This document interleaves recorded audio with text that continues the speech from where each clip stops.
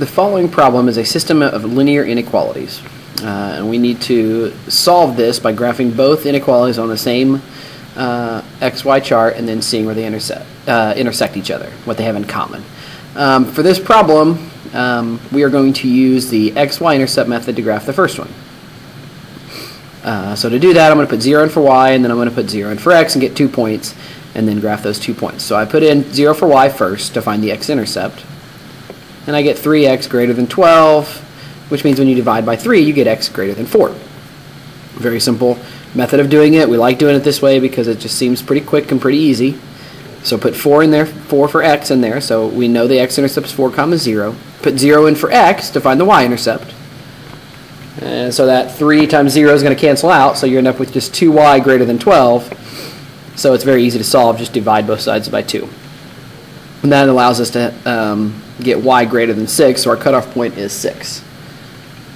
To solve this now, we need to graph both points, so 4 over on the x-axis and 6 up on the y-axis.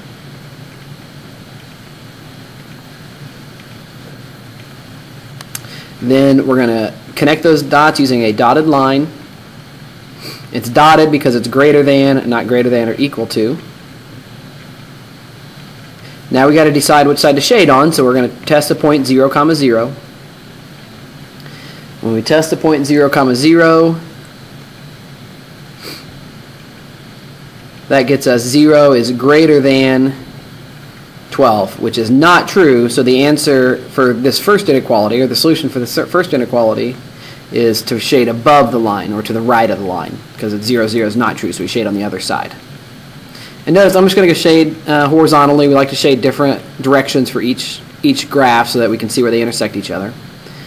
Now I'm going to do the other one. Uh, this one's a little quicker because it's already solved for y. So y less than or equal to a negative 3 halves x plus 2.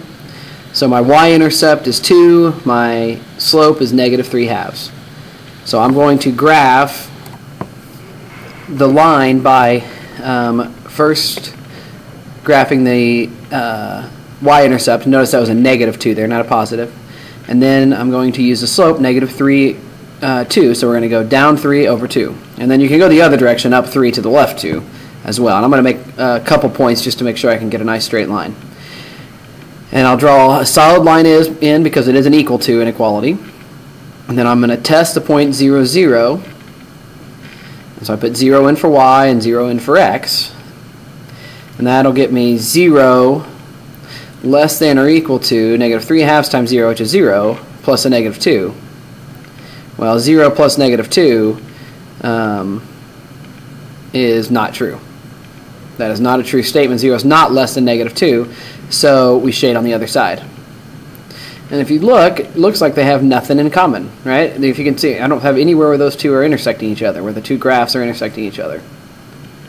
So I need to go through and solve for y to see if maybe those two lines are parallel. Because if they are parallel, then the answer is no solution. Okay, because the lines are parallel.